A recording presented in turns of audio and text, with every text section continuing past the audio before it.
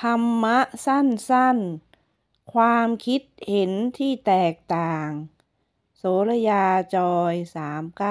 3978 ฝากกดติดตามให้กำลังใจในการทำคลิปต่อไปด้วยนะคะ ความคิดเห็นที่แตกต่าง คิดต่าง เห็นต่างกันจนกลายเป็นคนละขั้ว ความเกลียดชัง ลิษยากัน โซเชียลมีเดียก็มีส่วนอย่างมาก ในเรื่องประเภทนี้ อีกฝ่ายก็คิดว่า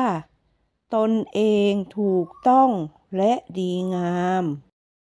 อีกฝ่ายก็หลงผิด คิดร้าย แต่ก็คิดว่าตัวเองถูกต้อง ผลที่ได้ติดกับดัก ของความรุนแรง เกิดการโต้เถียง โต้แย้งกัน โจมตีกันทางโซเชียลมีเดีย